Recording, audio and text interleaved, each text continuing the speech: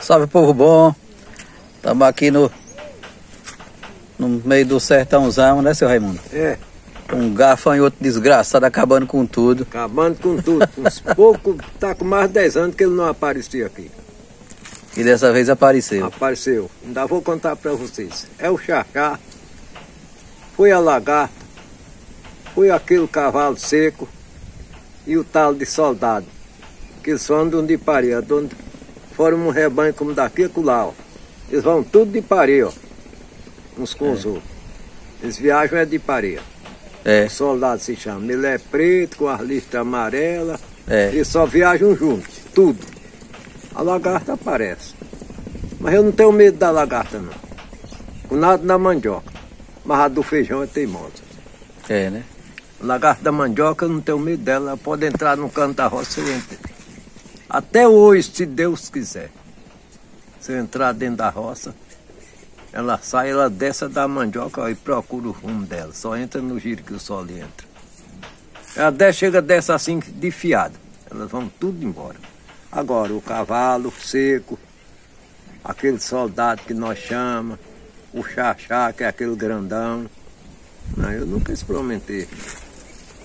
Não sei, também nunca fiz uma. Isso aí, mas eles, eles acabam por eles mesmos aí. Tem o tempo, eles estão comendo aí. por eles mesmo. Aí logo acaba tudo. Eles vão voando, você dá fez, pega a voar, pega sair nas casas.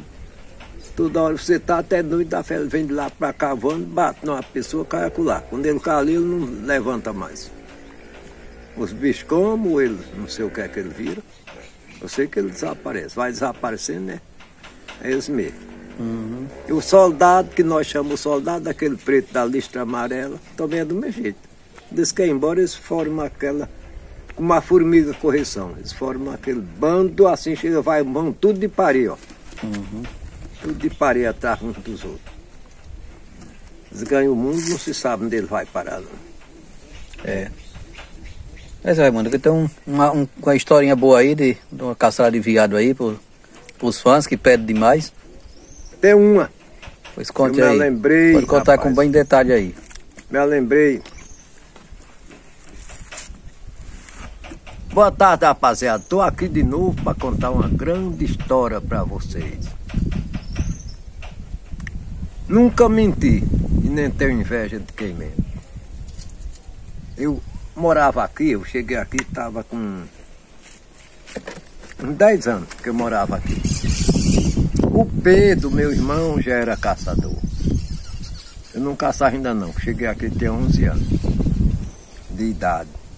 Aí eu fiquei trabalhando aqui, mas meu pai, daquele por recreio, que o velhão ali me chamava, um fazendeiro que tem ali, e gostava muito de mim. E me chamava direto. Daí quando o dia que não estiver fazendo nada, manda ele vir para aqui. Eu pago a diária dele, quando ele ficar aqui mais eu, fazendo uma coisa e outra, coisinha eu levo que eu era meninota ainda, só que toda a vida eu só fui menino até quando eu cheguei aqui. Depois que eu cheguei aqui, eu passei a ser homem. Porque eu tive que enfrentar minha vida e ajudar meu pai as irmãs e tudo. Eu toda a vida fui um bicho de coragem. Nunca eu faço como de restauro. Nunca eu disse assim, ô minha mãe, eu estou cansado. Ô meu pai, eu estou cansado todas as horas eu estava de um jeito só. Aí o velho me levou para lá. Quando eu não estava aqui trabalhando, eu estava lá mais ele. Mas o velho me pagava bem também. O velho, se eu trabalhasse a semana, ou dois ou três dias, quando eu ia saindo, ele dizia, peraí, daí, Dico. Que meu nome é Raimundo, mas apelido por Dico. Peraí, Dico. Aí um pouquinho embocava lá para dentro. Tava velho, vinha com as coisinha na mão, um dinheirinho na mão. Então, Dico, mas tu levar para passar o, o, o domingo, mas a turma, que eu só saí de lá depois que eu matava um bode, um carneiro para eles, retalhava, mas todo depois que eu me casei. Antes de eu me casar, não, depois que eu me casei, toda a vida a véia tirava a pá com três filhos de costela. Toma ali, leva pra cartita fazendo um carro. Eu achava até bom. Já, não- vezes, se fosse uma criação maior, não botava nem de uma vez no fogo, dava para comer duas vezes. Aí eu enfrentei. Aí, rapaz, os meninos tinham um, um viado aqui no, numas pedras que tem ali, que é encostado o Zé Corino. Umas pedras grandes tem ali. Dizia, rapaz, mas toda a vida quando se chega ali, só tá buraqueiro daquele viado, que ele sai do pé da pedra, e você pode rastejar ele até de onde quiser. Até sair na estrada do jacaré. A buraqueira dele tá aqui, vai correndo daqui para lá. Aí um dia, eu digo, que viado encantado. Eu entrei aqui por o lado da estrada do jacaré. Carreguei uma espingarda, era até uma costa de ferro, o cara do velho Beca, que o Pedro é quem caçava. Carreguei bem carregada mesmo. Mandei só ele botar a pólvora, voltar. E eu carreguei a bucha, botei uma bala, botei três caroços de chumbo grosso, embuchado na bucha e botei na bucha da frente. Eu digo que eu vou por aqui, que o bicho corre para lado aqui. Quando eu cheguei ali pertinho do morro da Salu, só tava a buraqueira dele que tinha atravessado no giro do jacaré. Do mesmo, do mesmo instante. Que eu vi que era do mesmo instante, chega para mim, eu olhar assim, chega, passa que a fumaça ainda tava subindo. Eu assuntei, assuntei. Pensei de todo jeito assuntei. Eu digo, não, ele vem daqui. Eu vou rastejar ele as avestas. Peguei o rastro dele as. Peguei o rastro dele as. Lá pra cá é só a buraqueira dele daqui pra lá. E o rastejando as avestas, é hora que eu mais dá. Parece que eu sou é besta. Ele vem lá pra cá e eu vou daqui pra lá. Mas eu vou é assim, já me deu para pedir, foi assim. E rastejei as avestas, rastejei. Quando ele atravessou da estrada, do Tamburi tem umas pedras grandes que é perto da cacimba. Eu digo, está debaixo daquelas pedras, daquele, lá pode ter outro debaixo daquelas pedras daquele museu. Quem sabe se não for um viado macho que espantou outro de lá, que é mais maior, espantou o outro, ele, o sol já estava quente, ele desceu correndo. Aí eu vou indo, vou indo daqui para lá, no rastro dele, olhando de um lado e outro, e olhando de vez em quando. Quando eu cheguei perto dos embuzeiros do, das pedras, tem um embuzeirão assim. Digo, vou abrir mais por aqui, um pouquinho. O vento tá levando assim, eu, eu vou abrir mais por aqui, que eu. Eu tô desconfiado. Ali só pode ter sido outro viado grande que fez ele correr. E o sol já estava morno e ele desceu correndo. Aí eu tomei chegada. Tomei chegada, vou devagarzinho, tinho dos bodes, vou indo. Eu, eu ia indo mais sutil do que um gato, rapaz, com a espingarda, a costa de ferro aqui na mão, e vou indo, vou indo. Aí quando eu olhei de cá, não vi nada, não vi nada. Aí segui mais um pouco os passos, fui seguindo, seguindo. Rapaz, o sol estava aqui, mas a sombra tinha uma gaia que era torta assim para aqui. E a sombra ainda estava uma gaona comprida assim. Ou eu estava debaixo da gaia do embuzeiro, olhando no giro do rastro que o, o viado tinha corrido, o rastro que eu vinha. Olhando, chega, estava assim, ó, chega, estava de olho assim, chega, fazia bem assim, ó. As orelhas mexendo. As orelhas mexendo. Ele botava lá dentro, na mesma hora ele fazia. E a vento chega tarde bem assim. Ele chamava mesmo bem assim com a vento, que eu, eu quando está procurando sentir um, ele chega e faz bem assim com a vento, caçando no faro para ver se se acha aquilo, se é o achinto filho. Imaginei. Se tu deixar eu passar por este lado, daquele quebrar facão ali, ele estava muito entertido, de que tu se enrascou agora, bichão. Mas eu olhava para ele, não via que ele era macho, não. Eu via que ele era turinão. Era um viado turino, da frente meia. É quase cor de cinza, que é o viado turino é aquele do, da frente, quase cor de cinza. O outro é todo vermelhinho, aquele fuboca. E aí eu digo, ei, rapaz, mas um viado, mas o bicho chega de alumiava, rapaz, o bicho bicho ficava bem assim. Caça antigo viado dele fazia assim, ó. Aqui. Quebrei a espingarda, que era de cão por cima, a espingarda ainda. Quebrei ela para trás aí.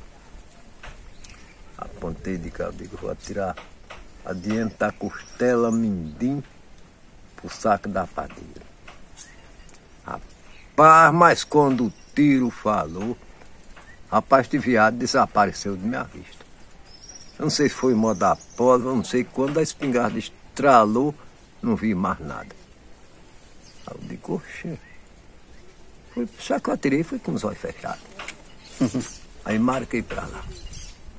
Marquei pra lá, cheguei lá, só tava os cangapé. Eu ia no chão onde ele tava, onde ele fez fincapé pra correr. Uiê que cansei. Não vi um cabelo de tamanho nenhum. Mas meu Deus, será que eu perdi este tiro? Que eu não perdi não. Olhei nos paus, uns pauzinhos mameleirinhos tinha assim meio perto, não via de onde deu um caroço de chumbo, não via de onde deu nada. Voltei e tornei. Carregar a espingarda ali. É, eu vou entrar um pedacinho aqui. Pra eu ver pra onde este bicho entrou. Rapaz, eu não caminhei como daquele tronco daquele negócio E olhando o rastro assim, entrou num lugarzinho duro, eu arrebei a cabeça para dentro, ele tava de cabeça para trás. Os olhos azul que chega, tava parecendo uma coisa terrível. Isto é que eu gosto de dizer também, vou voltar outra coisa. O homem caçador de viado, que disser que matou um viado, ele deu três pulos e ele não caiu com a cabeça para trás, eu digo que é mentiroso. É mentiroso que eu ainda não vi. Aí eu cheguei, rapaz, o bicho estava com aqueles olhos azul, chegou, me espantei. Ô rapaz, mas era um garroto de viado, rapaz. Eu peguei na perna e na mão quando fiz assim para suspender o bicho pesado um tanto, eu vim com ele detém. O bicho ainda bateu a ponta aqui na minha perna. Mas só fiz arranhar. Eu tuxo até jogado debaixo do embuzeiro. Joguei debaixo do embuzeiro, tomei um fogo. Fiquei assuntando. Conheça bichinho. Falei sozinho. Conheça bichinho, que aqui não é Jaime mais Pedro, não, rapaz. Aqui é Raimundo, rapaz. Aqui é Raimundo, rapaz. Rapaz, eu sozinho falando isso. Não tenho nem medo de assuntar uma voz e dizer, rapaz, não faça isso não, rapaz. e falando sozinho. Quando o velho Jaime soube que eu tinha matado o viado lá, disse, mas não foi ele. Garanto que não é ele. Aquele que tinha lá corrido nós não é ele. Não foi ele que ele matou, não. Pode ter matado o outro, mas ele não foi, não. Tem que ser besta, compadre Jaime. Vocês não sabem caçar viado, não, rapaz. Quem sabe é eu. Quando eu passei lá na grota encostada à estrada do. que vai no morro, passa bem no tamburi, estava a escavar a cação dele, tinha passado daquele instante daqui para lá. Você pensa que eu rastejei ele daqui para lá? Eu rastejei ele, foi de lá para cá. Rastejei. As avestas, eu digo rastejei, foi as avestas. Eu disse, pô, para mim não era não, que eu nunca matava ele. Pois eu nunca ia matar ele. Compadre, o que é que vocês sabem? Não era compadre de fogueira. Compadre, eu só sei caçar. Outra coisa eu não sei não, só sei caçar. E ele disse, mas compadre, mas você sabe de uma coisa, que eu rastejava aquele viado, se ele atravessasse a estrada do jacaré e aquela buraqueira do mesmo jeito que ele ia correndo na frente. Digo, ah, rapaz, você é besta. Eu saí lá de juntinho da estrada que vai pro, pro Tamburi, já estava escavacação dele, tinha corrido lá de juntinho da, da Grota do Retiro, daquelas pedras, ele tinha corrido lá. Eu rastejei ele, rastejei as avestas até lá. Quando cheguei lá, tomei chegada das pedras, aquelas pedras grandes que tem. E aquele embuzeiro velho que tem, ele estava debaixo da gada do embuzeiro, ó. Olhando para o lugar que ele tinha entrado, chega, estava com a venta bem assim, eu tomando chegar dele por detrás, imaginando, você se engana comigo hoje, bichinho? Quando a espingarda velha falou, ele ainda deu uns três ou quatro pulos. Caiu lá, revirou, pensei que tinha ido embora. Cheguei lá, ele estava de cabeça para trás. Disse, é. Eu pensei que era caçador, eu e o velho Pedro pensamos que era caçador, mas nós somos uns merda. Eu digo, não, não são merda não, são caçador também. Só que vocês precisam ter muita experiência para vocês caçar. É, com muita... mato vocês aprendem, compadre. Eu disse com ele. Compadre Jaime, com mato você aprende. Você aprende a caçar o tatu no dia que está encaiporado, você aprende a caçar o viado, tanto de dia como de noite, você aprende é por você mesmo. Só que é. vocês muitas vezes veem uma coisa e vocês não guardam aquilo na cabeça, não gravam aquilo na cabeça.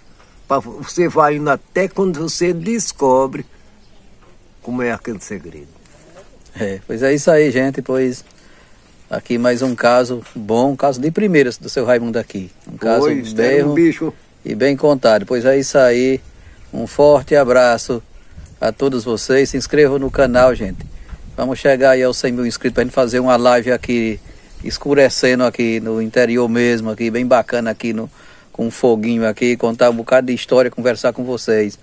E se inscreva no canal, é, compartilhe o vídeo para chegar a mais pessoas e deixem um like aí, que pois é muito importante para o crescimento do canal. É. Então é isso aí, um forte abraço a todos e até o próximo vídeo. O próximo vídeo, deixem daí.